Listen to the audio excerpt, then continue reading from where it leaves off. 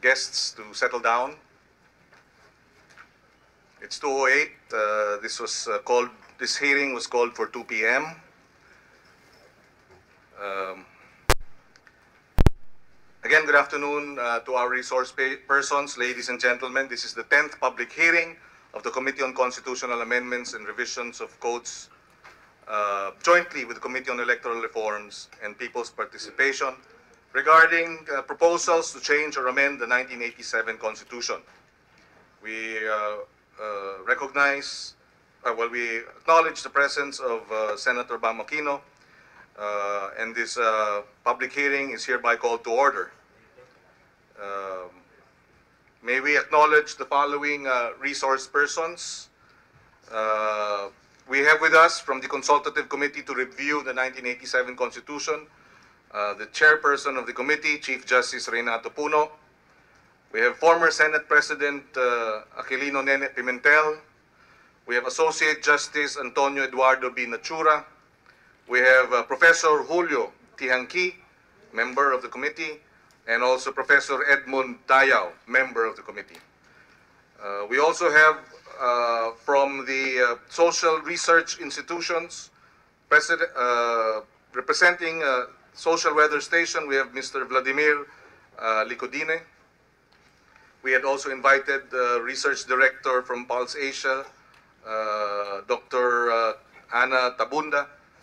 Uh, for our uh, reactors, uh, we have with us former Chief Justice Hilario Davide. We also have Associate Justice Adolfo Escuna, Asso- uh, former Associate Justice Vicente Mendoza. Uh, we have former Commissioner Christian Monsod. We have, we also have from the Philippine Institute for Development Studies, Dr. Rosario Manasan. How do you pronounce that, ma'am? Manasan or Manasan? Manasan, okay. Uh, Prof- Professor Jean Pilapil is also here from the Department of Political Science of the uh, University of the Philippines C- College of Social Science and Philosophy. Uh, Doc, Mr. Joel Rocamora of the Akbayan Citizens Action Party. Uh, another COMCOM member who's with us, Professor Eddie Mapag-Ali. Is he here? Sir, thank you for joining us. And Attorney Ferdinand Bocobo, uh, retired Lieutenant General also from the uh, uh, member of the committee, Con- Con- CONCOM. We also have Secretary uh, Adelino Sitoy from the PLLO. Oh, and Dr. Uh, Ronald Mendoza, Dean of the Ateneo School of Government, uh, Ateneo de Manila University. Ladies and gentlemen, again, good afternoon. May I uh, just place on record and uh, uh, provide us with the opening statement. Magandang hapon po sa kanilang lahat. This committee started its consultation hearings on the Philippine Constitution, and this representation as chairman, uh, the first, uh, our first committee hearing was last January 17, 2018. Before that hearing, Senator Drilon, who chaired the committee, uh, held two other hearings. A week after that uh, January 2018 hearing, and many of our resource persons were present then, uh, the consultative committee uh, was created, and uh, Chief Justice uh, Renato Puno was uh, appointed uh, as head of that committee. Last week, uh, Chief Justice Puno's committee released its report, and thereafter also SWS released its survey result on federalism, and Pulse Asia its own survey on the issue of charter change. In our previous hearings, we had four questions for our resource persons. Do we need to amend or change the Constitution?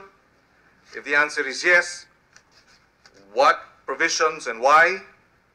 Who will amend the Constitution, a, a constitutional convention or constituent assembly? And if a constituent assembly, will Congress vote jointly or separately? Today, in our 10th committee hearing, we want to take a view on charter change and federalism uh, with, guided by, this draft uh, constitution uh, as proposed by the consultative committee.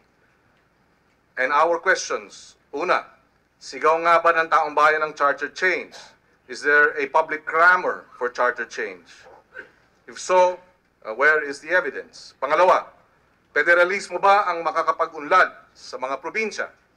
Is federalism the way to bring more development to the provinces? Or is there, or are there other ways? Pangatlo, bakit tinutulak ang charter change? Sino ang makikinabang dito? Kasama ba ang term extension at no election sa agenda sa likod ng charter change? At sino ang ah, makikinabang or who will benefit from it? Pangapat, ano ang halaga at magiging papel ng draft constitution na ihinanda ng Puno Committee at isinumite sa Pangulo at ang isang kopya ay naibigay sa ating ah, sa Senado at if I understand it correctly pati rin sa House of Representatives. Ililiwanag ko lang po sa publiko at sa ating mga resource persons na sa ngayon wala pang formal na posisyon ang Senado sa tanong ng kailangan ba ng charter change o hindi kung napapanahon ba ito, kung federalismo nga ba ang sagot sa mga problema ng ating bansa, at kung magtsatsatsya man, kon as ba o kon-kon ang mas mainam na paraan para baguhin ang saligang batas. Tatalakayin pa ito ng kumiting ito at ng Senado sa darating na mga araw. Kaya maganda pong makuha natin ang punto de vista at ang mga paliwanag ng mga membro ng Consultative Committee. Lilinawin din natin na bilang chairman ng komite, naniniwala tayo na sa ating bansa bilang isang demokrasya, lahat ng punto de vista sa usapin ng charter change, kontra man o pabor, ay dapat marinig sa isang bukas at pampublikong pandinig tulad nito at sa prosesong malaya, patas, Ah, dahil sa ganitong paraan, lumalakas ang ating demokrasya at ng malayang talakayan na pundasyon ng demokratikong lipunan. Mahalaga rin ito dahil mas malilinawan ang ating mga kababayan sa usapin ng charter change dahil ang tunay na may kapangyarihan sa pag-amyenda ng saligang batas ay hindi ang Kongreso, hindi ang mga politiko. Ang tunay na may kapangyarihan ay ang mamamayan nasa kamay, nasa kamay ng mga mamamayan ang ah, kapangyarihan na pumabor o, hi, o kumontra sa anumang panukalang panukala na maaring ihain sa isang plebisito. Yun na lamang po and we will welcome uh, the views of our resource persons and maraming salamat po. Uh, before we proceed, we would like to acknowledge also the presence of Senator Sani Angara, member of the committee, uh, and uh, uh, for just to some administrative matters, uh, the process flow will be as follows. We will have the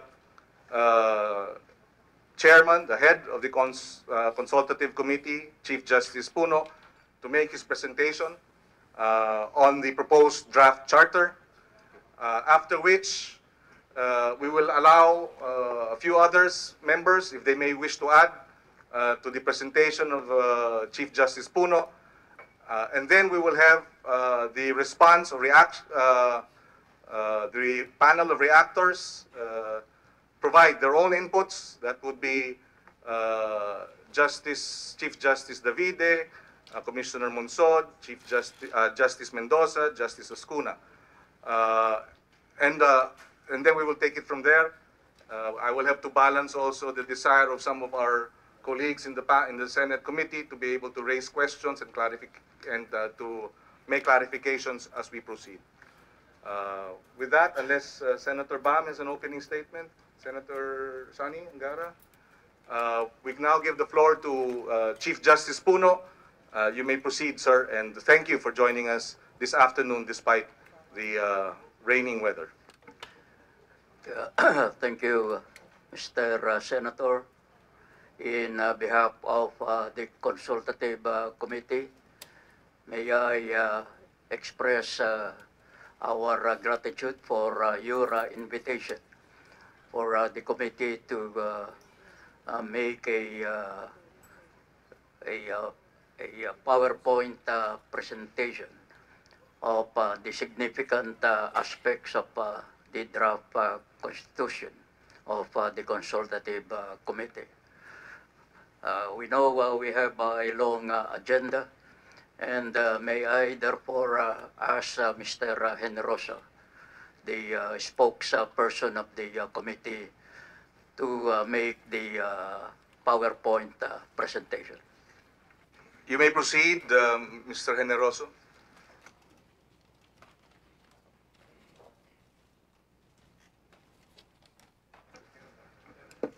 Uh, Thank you very much, Mr. Chairman, Chairman Puno, and Chairman Pangilinan.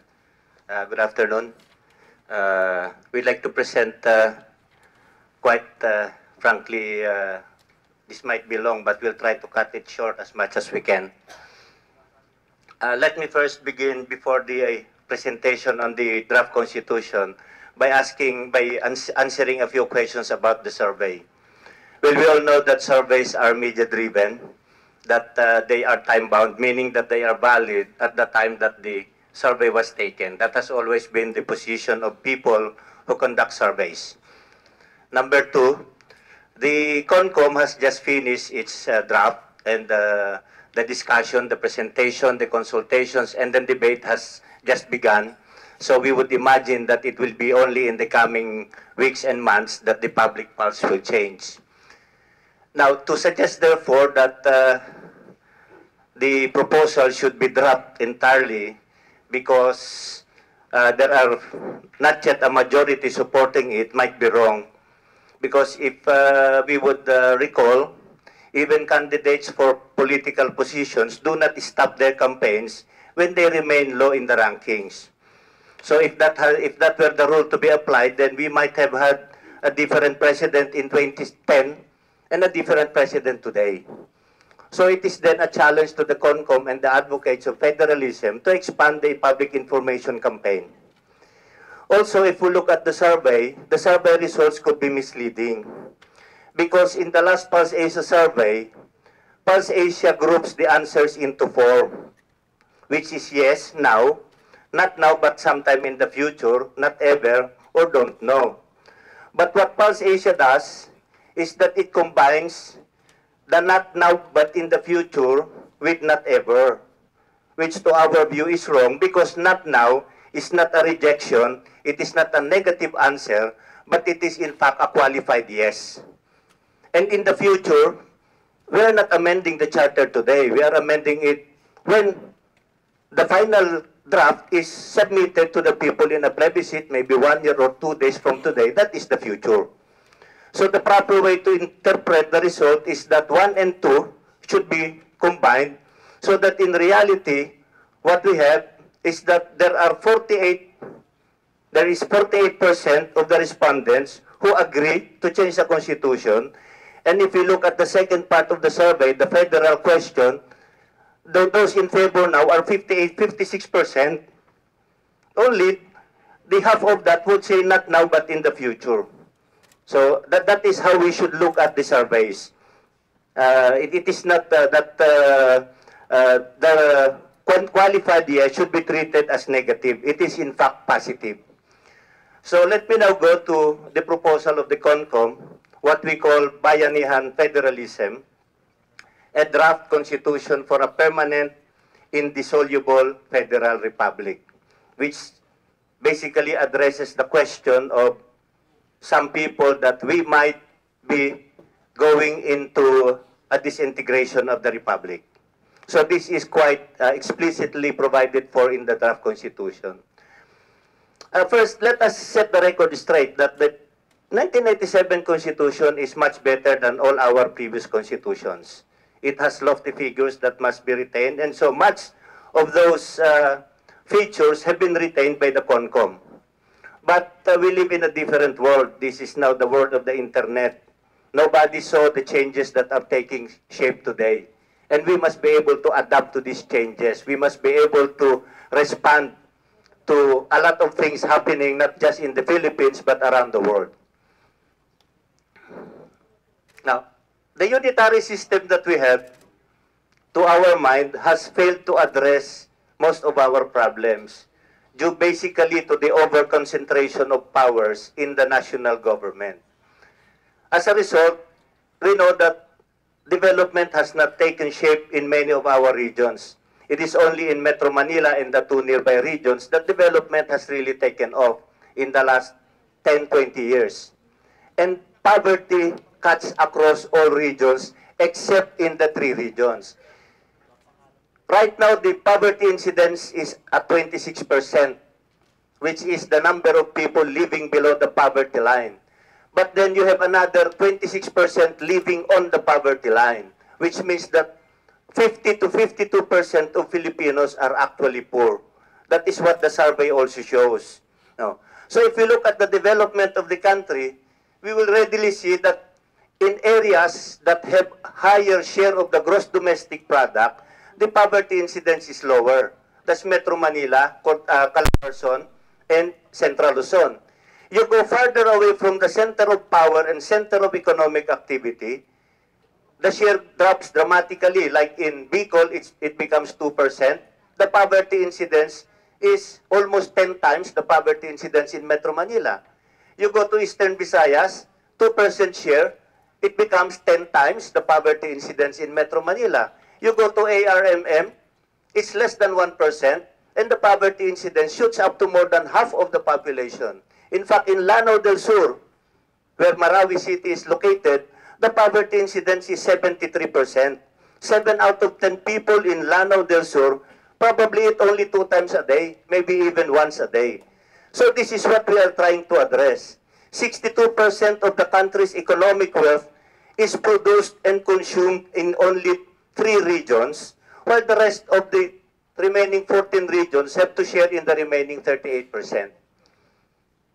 So, the unitary system has also produced what? There are remaining threats of secession in Mindanao. There is monopoly of political power by political dynasties. There is monopoly of economic power by business oligarchs and uh, monopolies, oligopolies. There is monopoly of fiscal and administrative power by the central government in Manila. There's unbridled graft and corruption, etc. All these things. These are the problems that we have been facing for the past 120 years. Now, when we talk of federalism, we are not talking of decentralization of power, devolution of power, or delegation of power. Federalism embraces the view that there must be no centralization of power. And in such a system, the governmental powers, the resources, the determination of policies, programs, etc., are properly distributed between the federal government as the central government and the federated regions, as in our case, the proposal, they are already enshrined in the Constitution instead of being enshrined in a local government code uh, that anytime Congress can change and take back all the powers that have previously been granted. Now, how did the CONCOM design this kind of system? First is that it is a concept of bayanihan federalism where the role of the central government is first to keep the country together, to have enough power so as, so as the country does not break up into different regions. Number two, uh, it adopts a federal presidential system, keeping a system that we are most familiar with and that has uh, uh, worked for the last uh, so many years. It also adopts a more representative legislature, uh, especially in uh, on the part of the Senate, where uh, the representation will be spread across the different regions instead of the situation now where we have 19 senators from Luzon, three from Mindanao, and only one from the Visayas. It strengthens our constitutional commissions, establishes federated regions that are uh, not only uh, economically viable, but will have enough power, both political and economic, to sustain themselves. Four, uh, it makes a more effective exercise of people's initiative. We have, uh, the CONCOM has revised the people's initiative provision so that it becomes uh, easily achievable uh, among our uh, citizens. And last, it ensures a permanent, indissoluble nation. So how do we look at this? The uh, federal government will still be headed by a president under Article 8.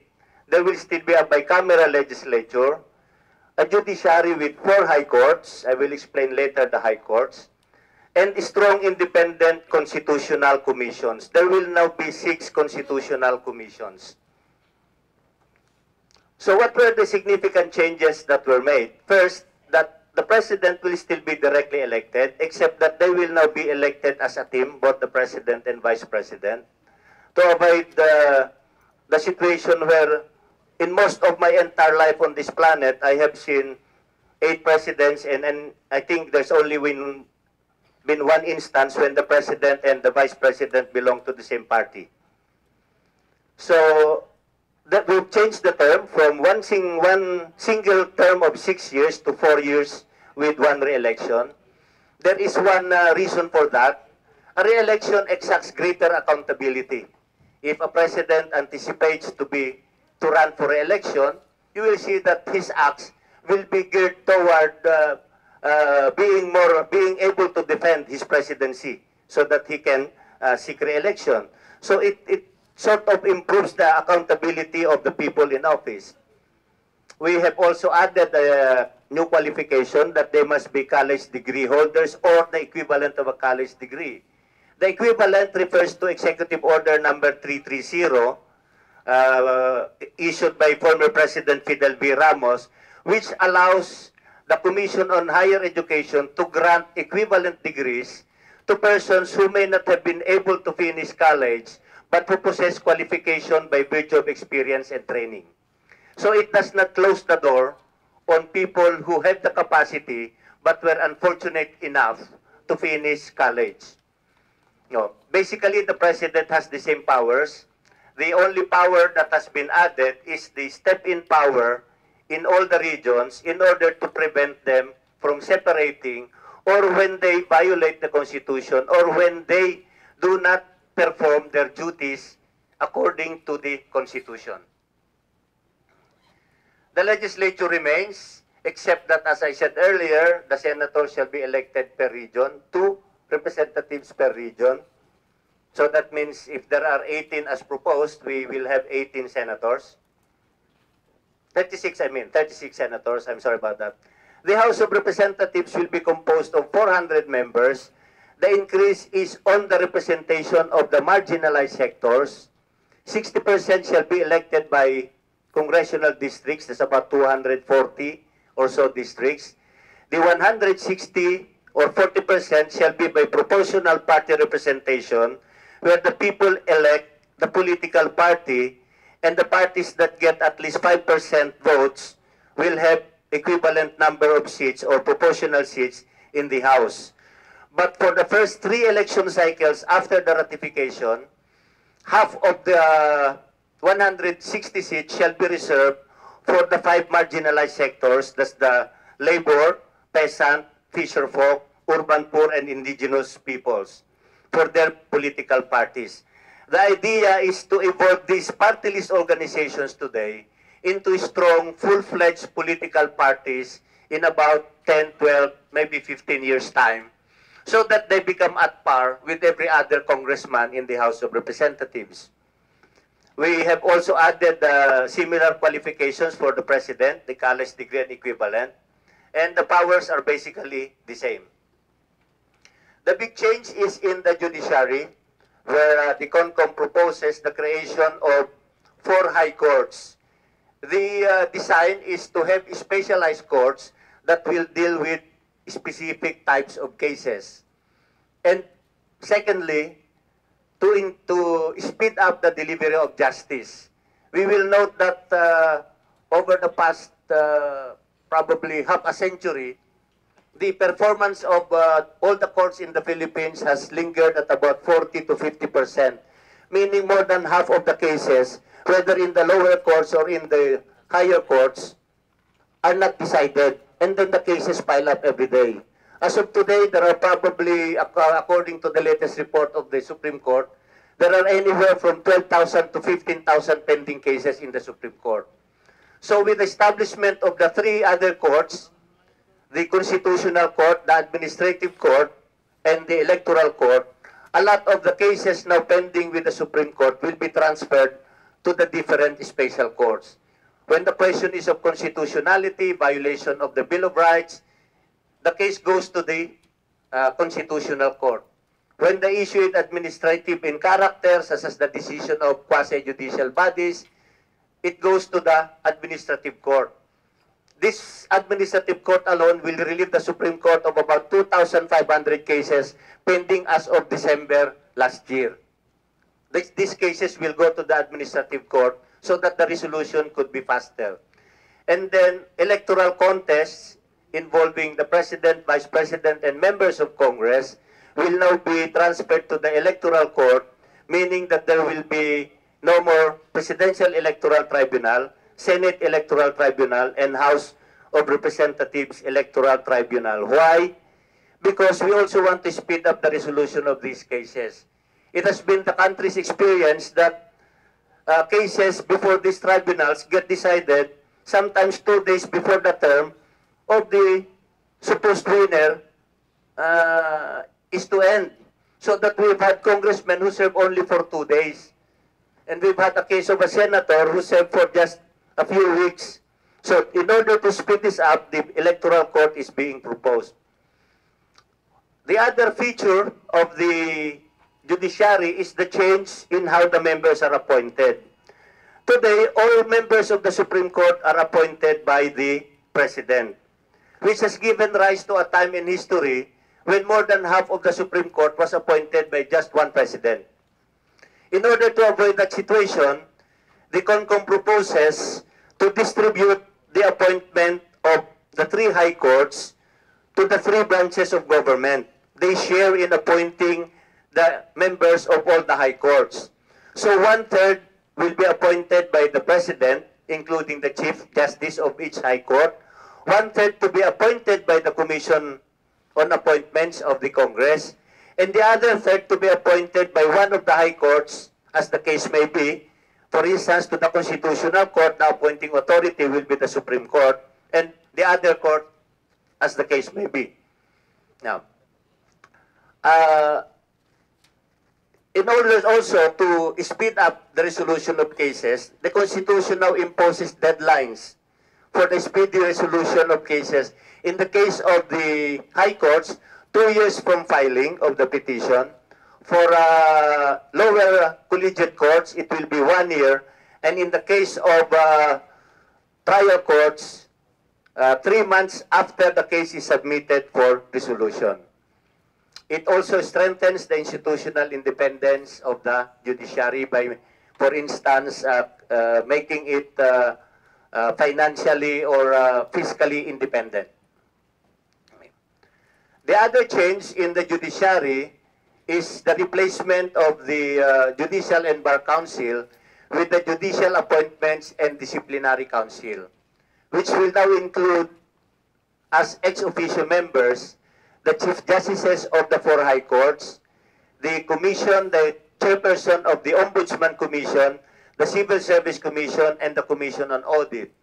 The reason for adding the chairpersons of these uh, commissions is in order to uh, provide the uh, council with information as to the uh, probable cases that might be pending against the nominees. The COA the, uh, and the Ombudsman will readily know who among the nominees might have cases pending. And on the part of the Civil Service Commission, the Civil Service Commission has its own guidelines on qualifications and standards that might be applied in the selection of nominees. There shall also be a representative from the Senate and the House of Representatives. Uh, today, I believe there is a confusion on that uh, because it is not defined whether the representative should come from the House or the Senate or that both of them should have. No, the Secretary of Justice is, uh, still there and the Administrator of the Supreme Court. Now, how did the CONCOM make the constitutional commissions stronger? First, two new commissions will be established, independent commissions. That's the Commission on Human Rights. In the 1987 Constitution, the Commission on Human Rights uh, is uh, part of the article on social justice and human rights. it is not in the article on constitutional commissions.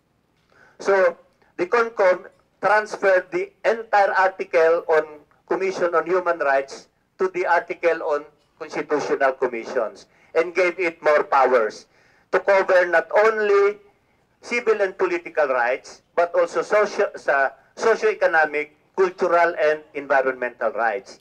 And to also cover not only violations by the state, but violations by non-state actors. The Competition Commission is uh, the present Philippine Competition Commission created by law, which the CONCOM proposes to elevate into an in- independent competition commission to give it more power so that we can go after monopolies, cartels, and other uh, market structures that are against fair competition. The other commissions that have been strengthened are the Ombudsman, uh, which is now, instead of Office of the Ombudsman, will now be a commission to be composed of five members, a chairperson to serve as chief ombudsman, and four associate ombudsmen. Again, the reason is to speed up the investigation and filing of cases. Today, it is common to hear of cases by the billions of pesos being dismissed for inordinate delay. With the strengthening of the ombudsman, it is our hope that in the future, no more cases will be dismissed simply because it has been delayed. The other uh, commissions that uh, remain, of course, are the Civil Service Commission and the uh, Commission on Audit. As for the COMELEC, the proposal of CONCOM is for the COMELEC to focus on the administration and management of elections to make sure that all laws on elections are faithfully executed and to regulate political parties.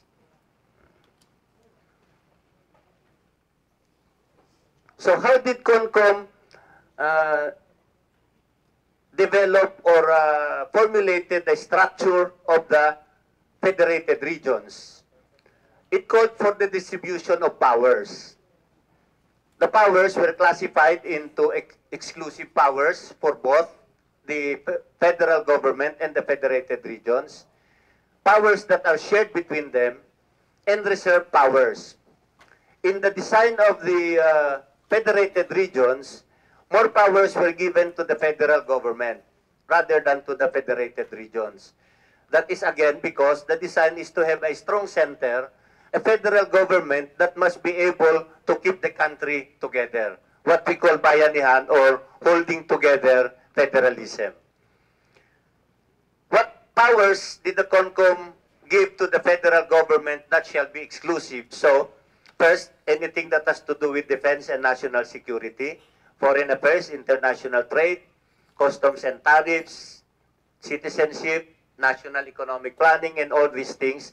I will not read them anymore because we'll be distributing copies of this. Uh, these are the other powers. Interregional infrastructure. When infrastructure spans different regions, it shall be the concern of the federal government. When it is within region, then it becomes just the responsibility of the regional government. Okay? Uh, social security, federal uh, crimes and justice system, law and order, and the rest. What about for the federated regions? Within their respective jurisdiction or territory, they will have certain exclusive powers to plan for the economy of their region that will be exclusive to them.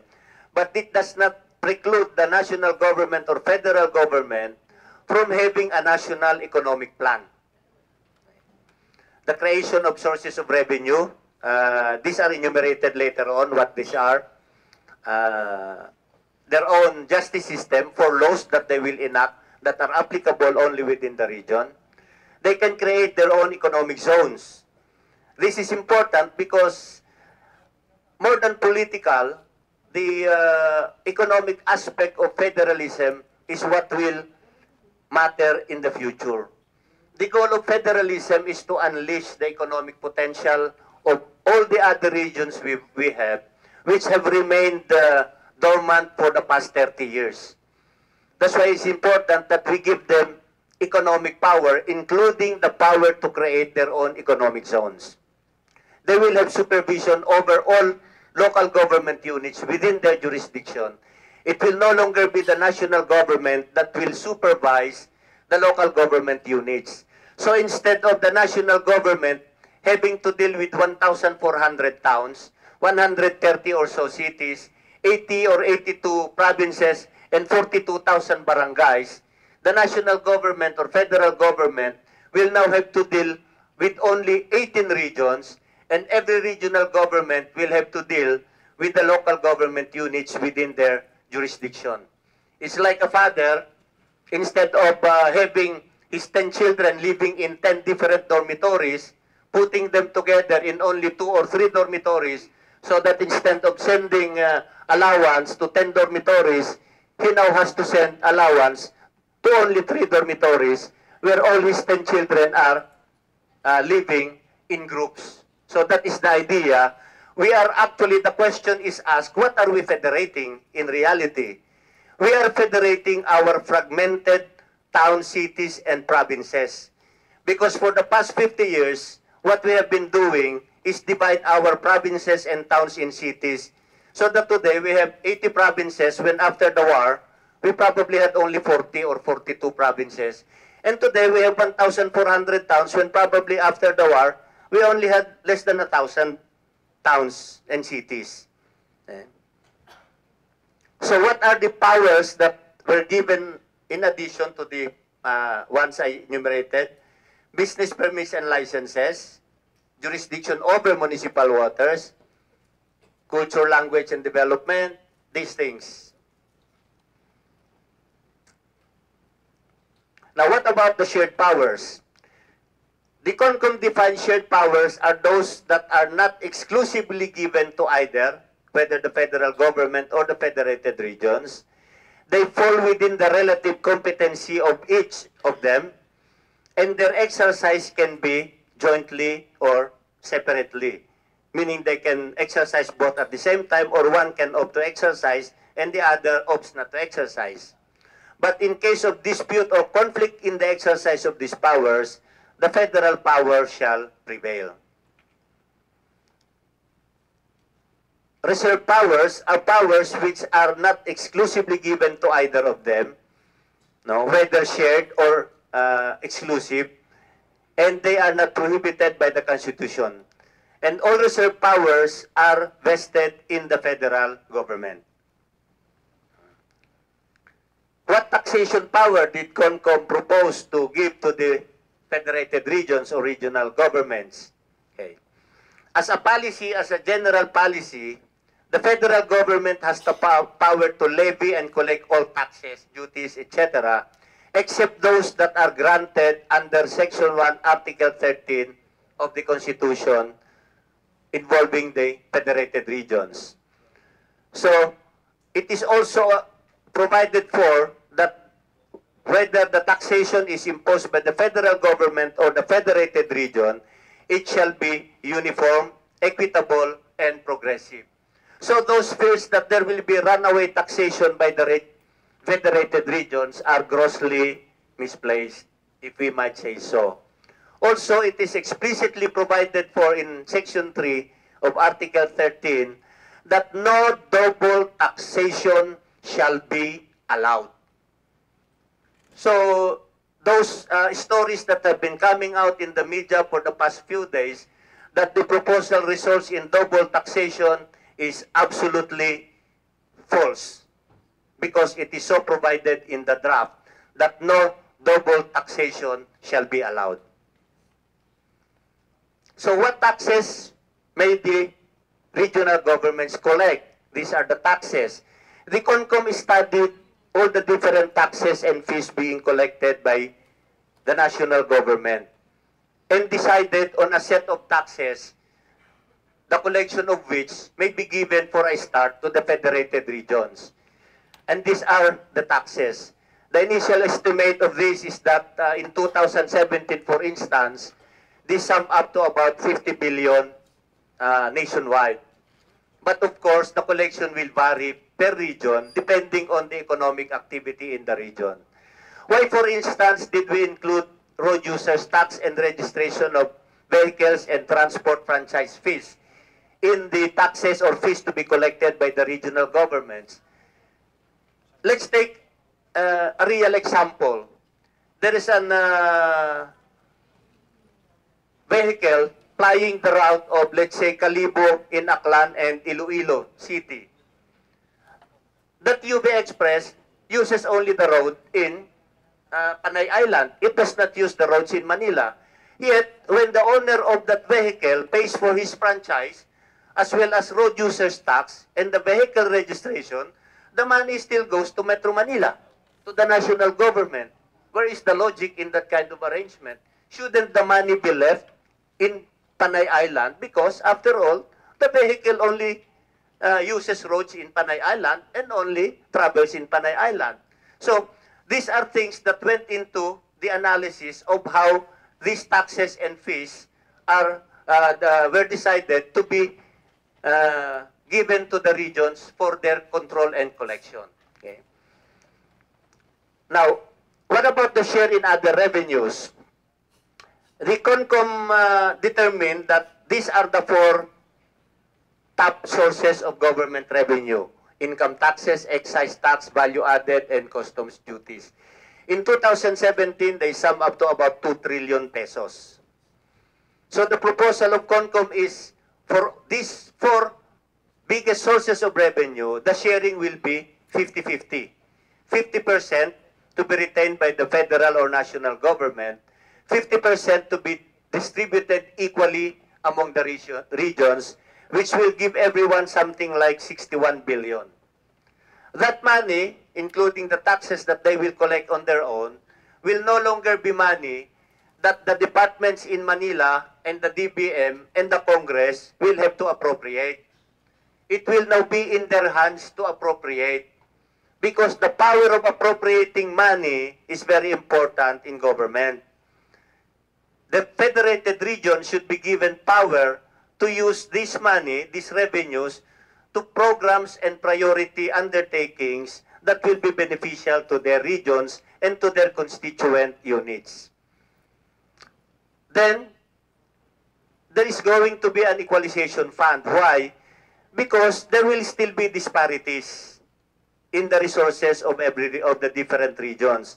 So in order to achieve some kind of balance, an equalization fund is proposed to be established which shall be not less than 3% of the General Appropriations Act. Now, where will this fund go? This will now be distributed to regions in need. So, for instance, if uh, Region 8 Samar Leyte would want to establish an economic zone, they have 100 hectares of land, but they do not have money to build roads, they can knock on the doors of the equalization fund and ask for, say, 5 billion in order to build the road within the economic zone so that they can encourage investors to come in. That is how the envision, how the equalization fund is envisioned to be used. Okay. What else? The regions will also now have a share of the income from the exploration, development, and utilization of the natural resources within their ter territory. And the sharing is 50% to the region, 50% to the national government, what will the national government do with the 50%? Then the national government may, may decide to distribute these resources to regions which do not have similar natural resources, as in uh, mineral resources or oil or natural gas. And, and for the fourth source of revenue, the Congress may still provide for additional appropriation for the needs of the different regions. How will the federated regions be structured? I, th I think I'm down to the last few slides. There will be a regional executive, regional assembly, and a regional judiciary. Very briefly, the regional executive shall be a regional governor and deputy governor. They will not be elected directly, but they will be elected in tandem also from among the representatives uh, elected to the Legislative Assembly. Question may be asked why? uh, when uh, CONCOM studied the voting population of every region, there are regions where one or two provinces dominate. In order to negate the domination by one province of the governorship of the region, the CONCOM designed a system where there will be equal representatives in the regional assembly so that everyone, whether the province is small or big, whether the city is small or big, everyone will have a chance, an equal chance to be elected regional governor and regional deputy governor. The regional assembly, as in the design of Congress or the House of Representatives, half will be elected from each province, one per province or highly urbanized or chartered city, and have to be elected in a region-wide election by proportional party representation. Same system as in the House of Representatives. And then the regional assembly is empowered to provide for it their own judicial system. It will not be dictated by the federal government how they will design their judicial system. But of course, the federal judicial system remains throughout the country in every federated region. Now, there are a few special features of the draft constitution. For instance, to address the undemocratic system of our election caused by the dynasties, narco-politics, foreign intervention, the bad character of our political parties, the CONCOM proposes the following. First, in the matter of political dynasties, the provisions are self-executory. They cover up to second degree of relations by blood or marriage. Succession is prohibited. So if the, the father is the mayor, he cannot be succeeded by the wife, the daughter, the son, etc. No multiple positions, whether at the regional or local level. So if there is already a senator, no brother can become congressman, no brother can become mayor, not even a kagawad in the barangay. There will be only two families in the country that will have two positions. That will be the family of the president and the family of the vice president because the CONCOM classified only two positions as national. That will be the position of president and vice president. All the rest are regional, including the senators, who will be elected per region. Even though they serve in the federal Congress, they are deemed regional officials because they are elected in the regions. So, there are also self-executing provisions against party switching. No switching is allowed during the term of an incumbent public official. No, he may not switch parties two years before or two years after an election. And there are penalties. You switch parties, if you are an incumbent, you are removed from office. You cannot be appointed to any office until after one election. You cannot run in the succeeding election. And the political party that accepts a political butterfly may also be penalized through the cancellation of its accreditation with the COMELEC. What are the other political reforms? The strengthening of our party system uh, by requiring strong, well-written party ideology, principles, platform, etc. before they are registered. No? Uh, requiring them to exercise democratic processes in the selection of their officials, including candidates. In fact, requiring them as much as practicable to have equal number of women candidates in every election, as far as practicable. No? And then establishing the democracy fund where citizens may contribute anywhere from 10,000 to 100,000 in order to finance their political parties or their candidates. And the contribution shall be tax deductible, meaning they will be given tax credit by the BIR. Corporations may also contribute up to uh, 3 million, 3 million, and they will also be given tax credit for that. This will help make political contributions not only transparent, but also to direct political contributions to parties, especially the small ones that need financial support. In terms of addressing the economic uh, side, the breaking up of monopolies, oligopolies, and cartels is provided for through provisions that prohibit these uh, types of market structures. no? These are, of course, aggravated by the lack of effective representation of the poor in governance. So, this is addressed, again, as I said earlier, the prohibition on monopolies and the guarantee of free and fair competition, plus the establishment of an independent competition commission with these powers, among others. The poor have been empowered through assured representation in the Congress and regional assemblies through the proportional party representation system with half of the seats reserved during the first three election cycle. To address the lack of foreign investments, the CONCOM proposes to empower Congress to liberalize investments in all these aspects. It is being asked, why not put in the Constitution itself instead of passing on the uh, job to Congress? The CONCOM is looking at flexibility of economic policy. We cannot tie up the rest of the country, the rest of the economic policy for the next 50 or so years or 30 years to a constitutional provision.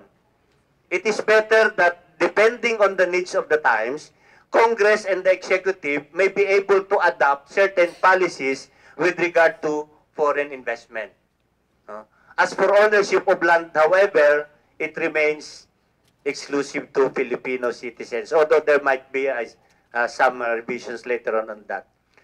To address poverty of the marginalized sector caused by this, the CONCOM expanded the Bill of Rights to include socio-economic rights, the right to adequate food, education, housing, universal comprehensive health care, and livelihood and employment opportunities. The caveat is this. The state shall adopt measures to ensure the progressive realization of these rights. Meaning that we don't expect government to provide for all this in a year, two years, ten years, not even probably 15 years.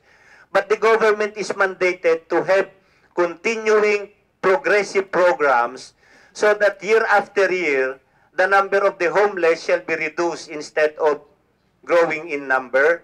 The number of people who grow hungry every day shall not remain at 20% every time a survey is conducted, but shall be reduced significantly. no? The other is the demandable environmental rights. The right to clean air, water, soil, and surroundings, but more importantly, the right to seek compensation if the farm, the farmland is damaged by toxic waste from mines. We have seen thousands of hectares of land destroyed by toxic wastes, and the farmers have no recourse. So we are empowering them to sue for compensation. At the same time, we are empowering them to seek relief if in case there are activities that will damage their farms or their source of livelihood, the rivers or the streams or the seas. They can go to court and ask for the writ of kalikasan. Right now, the writ of kalikasan is only in the rules of court. We want to put it in the Constitution so that it becomes stronger. These are the other special features, very briefly now. The representation in Congress and regional assemblies by the poor. Protect protection against employment discrimination. In the uh, section on labor under social justice, the CONCOM added a sentence that no person shall be deprived of employment on account of age, sex, status in life, uh, physical appearance, and other things that amount to discrimination. There is also a section protecting overseas Filipino workers and uh, assuring that they are given legal help when they need uh, when they face charges abroad and providing opportunities for gainful employment for persons with disabilities. Free legal assistance for all uh, for indigents allowing release on recognizance of indigents accused of crimes which may be uh, allowed uh, to be put on probation and providing compensation to persons unjustly and wrongfully accused convicted and imprisoned but later on found innocent. The victims of this are mostly the poor because they cannot pay a highly priced lawyer for their defense. Um, Uh, just two more slides, sir. Okay. Thank you. Uh, to address corruption, as I said earlier, the ombudsman has been turned into a commission. I have discussed some of the details of this uh, earlier, so I will not go into the details. Uh, the commission on audit, we have, we've included, for instance, the power to conduct performance audit, and also in certain cases, when requested by an agency, to conduct pre-audit so that at the start, the COA will also know, will already know if some of the materials being used for a project, for instance, are overpriced. Instead of finding it out three years later when you can no longer uh, recover the money. So, uh, the Civil Service Commission, no, to if to address the ineffective sovereignty, we have the People's Initiative. We will provide you with the details through the PowerPoint presentation. And last, uh, to address gridlocks in certain areas, the uh, Constitutional Court is empowered, for instance, to give advisory opinion either to Congress or the President in cases of an enrolled bill that have uh, significant or what we call paramount national importance. No? Uh, so with the COMELEC in case of uh, uh, a proposal to amend the Constitution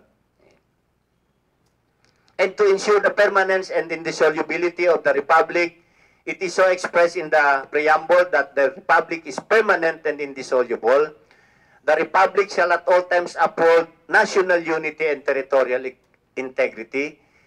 Section 2, Article 11 prohibits anyone to advocate, demand, or support the secession of any region from the Federal Republic.